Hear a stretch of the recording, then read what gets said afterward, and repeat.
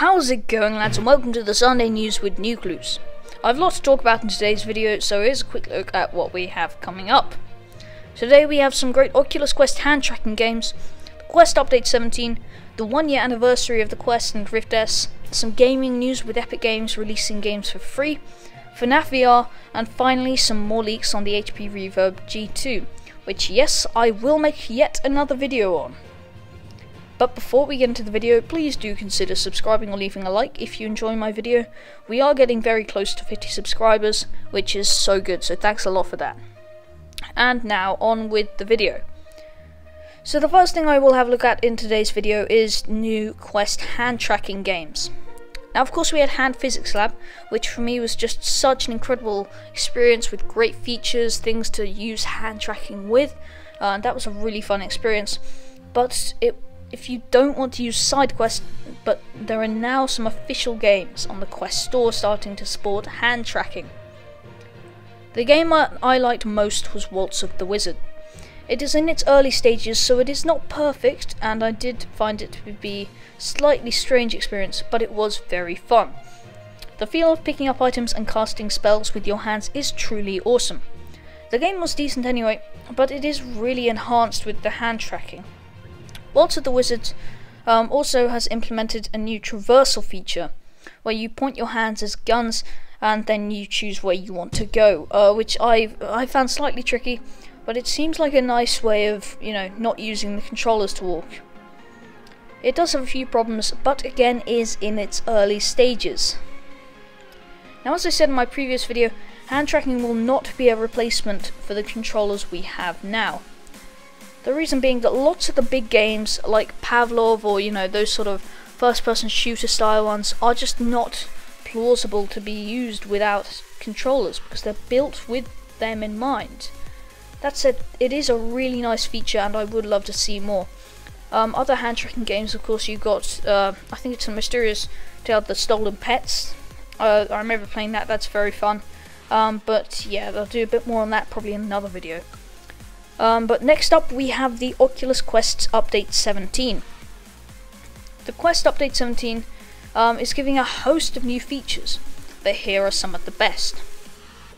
With the update came a lot of cool things, like how hand tracking is not an experimental feature anymore, and is just in the main bit. This of course is a small thing, but it's just it's quite a nice thing to see, um, because obviously it's a good feature. Another thing is how you have the ability to turn off the little red circle when you are recording.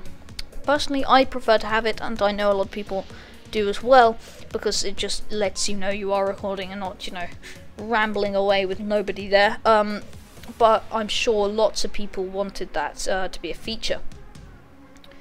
Um, of course, you've got a menu revamp as well, but I'm not going to go into much more detail on it because I'll, yeah, I might do another video um, but that's sort of idea.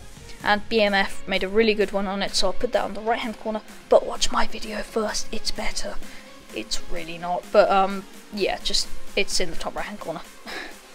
Next on my list of things to talk about is Epic Games releasing free games like GTA 5 and Civilization 6. Epic have been selling GTA 5 and Civilization as free, and more great games are to come as well. But if you haven't picked up GTA 5 yet, then I'm afraid it's too late to get it for free. That said, Civilization 6 is now on the free list, so that's it's still a good game, great game for some. I find it incredibly boring, but um, lots of people like it. Now the reason I want to look at it was the possible leaked games that will be available next. Now the next games to be free on Epic Store are the Borderlands The Handsome uh, Collection, and Ark Survival Evolved. Now, I did source this data from an incredibly sketchy website that was probably stealing all of my personal data, but I had NordVPN. No, I wouldn't do that to you. Um, I'm not that much of a monster. Also, they don't care about me. Uh, but yeah, I don't know how good the information is. Uh, I wouldn't take it, you know, that's what's going to happen, but it's highly plausible. So just roll with it. Um, now, if you have made it this far, then thank you very much for watching. Uh, but don't go, there is more. Um, I just want to say a bit, no, quick thank you to everyone as we are really close to 50 subscribers. That's really great. Last video did ridiculously well. Um, I'm sorry to the loyal subscribers who've seen a lot of that recently, but I'm gonna have to make another. Um, but yeah, we'll see that soon. And now back with the video. Just recently, the Oculus Quest and the Rift S had their one year anniversary. And for their anniversary, they have been having a lot of sales on their games. So if you've been thinking about getting a game on or two on the store, now is the time. I'll put a little link in the top right corner uh, to my video of the best Quest games. Uh, so yeah, you should really get some. The deals are ridiculous now. Um, but yeah, it's the perfect time to buy some. And the final thing I'll have a look at is the um, FNAF VR news. Oh dear.